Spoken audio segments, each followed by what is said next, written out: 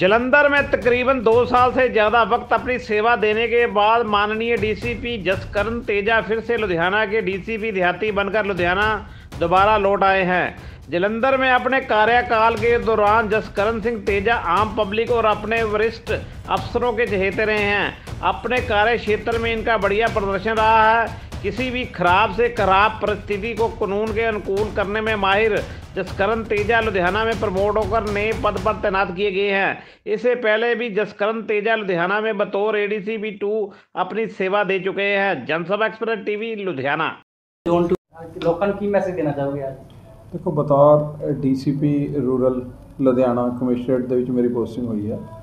ਮੈਂ ਸਾਡੇ ਮਾਨਯੋਗ ਡੀਜੀਪੀ ਸਾਹਿਬ ਗੌਰਵ ਯਾਦਵ ਸਰ ਤੇ ਸਾਡੇ ਸੀਪੀ ਸਾਹਿਬ ਮਨਦੀਪ ਸਿੰਘ ਸਿੱਧੂ, ਸੀਪੀ ਲੁਧਿਆਣਾ ਕਮਿਸ਼ਨਰੇਟ, ਜੋ ਇਹਨਾਂ ਦੀ ਨਸ਼ੇ ਤੇ ਗੈਂਗਸਟਰ ਦੇ ਖਿਲਾਫ ਇੱਕ ਮੁਹਿੰਮ ਚਲਾਈ ਹੈ।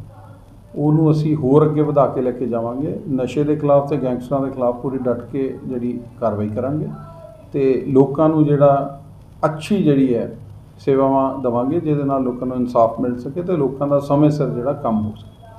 ਅਮਨ ਸ਼ਾਂਤੀ ਨੂੰ ਕਾਇਮ ਰੱਖਣ ਲਈ ਕੀ ਮੈਸੇਜ ਦੇਣਾ ਦੇਖੋ ਅਮਨ ਸ਼ਾਂਤੀ ਨੂੰ ਕਾਇਮ ਰੱਖਣ ਲਈ ਜਿਹੜਾ ਲਾਅ ਐਂਡ ਆਰਡਰ ਹੈ ਇਹ ਜੇ ਕੋਈ ਚੰਗਾ ਵਿਅਕਤੀ ਹੈ ਤਾਂ ਉਹਨੂੰ ਪੁਲਿਸ ਦਾ ਜਿਹੜਾ ਆਲਵੇਜ਼ ਮਤਲਬ ਉਹਨੂੰ ਅੱਛਾ ਮਹਿਸੂਸ ਹੋਣਾ ਚਾਹੀਦਾ ਤੇ ਜਿਹੜਾ ਮਾੜਾ ਅਨਸਰ ਹੈ ਉਹਦੇ ਉੱਤੇ ਜਿਹੜੇ ਸਖਤੀ ਨਾਲ ਕਾਰਵਾਈ ਕਰਾਂਗੇ ਤੇ ਜਿਸ ਨਾਲ ਸਾਡਾ ਲਾਅ ਐਂਡ ਆਰਡਰ ਬਰਕਰਾਰ ਰਹੇ। ਤੇ ਫੇਕ ਖਬਰ ਤੇ ਤੁਹਾਡੀ ਕੀ ਨਜ਼ਰ ਰਹੇਗੀ ਸਰ ਦੇਖੋ ਜਿਹੜੀਆਂ ਕੋਈ ਫੇਕ ਖਬਰਾਂ ਆਲਰੇਡੀ ਪ੍ਰਿੰਟ ਮੀਡੀਆ ਤੇ ਇਲੈਕਟ੍ਰੋਨਿਕ ਮੀਡੀਆ ਤੇ ਹੋਰ ਅਲੱਗ-ਅਲੱਗ ਅਦਾਰਿਆਂ ਵੱਲੋਂ ਵੀ ਲੋਕਾਂ ਨੂੰ ਅਵੇਅਰਨੈਸ ਜਿਹੜਾ ਕੀਤਾ ਗਿਆ ਵੀ ਜਿਹੜੀ ਕੋਈ ਆਈਜੀ ਹੈਗੀ ਹੈ, ਉਹਨੂੰ ਨਾ ਉਤੇ ਯਕੀਨ ਕੀਤਾ ਜਾਵੇ, ਜੇਕਰ ਕੋਈ ਕਰਨ ਵਾਲਾ ਬੰਦਾ ਹੈਗਾ ਤੇ ਉਹ ਪੁਲਿਸ ਦੇ ਧਿਆਨ ਚ ਲਿਆ ਜਾਵੇ ਜੇ ਕੋਈ ਆਈਜੀ ਗੁੰਮਰਾਹ ਖਬਰਾਂ ਜਿਹੜੀਆਂ ਗਲਤ ਖਬਰ ਦਾ ਪ੍ਰਚਾਰ ਕਰਦਾ, ਜਿਸ ਨਾਲ ਕੋਈ ਲਾਅ ਐਂਡ ਆਰਡਰ ਤੇ ਅਸਰ ਹੁੰਦਾ, ਤੇ ਉਹਦੇ ਖਿਲਾਫ ਕਾਰਵਾਈ ਕਰਾਂਗੇ।